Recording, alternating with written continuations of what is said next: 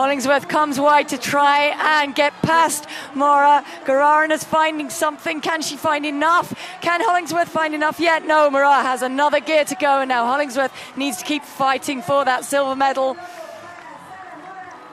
Moraa takes it. She is the World Junior Champion. She took the front, held the front, controlled it all the way, was not letting anyone past her.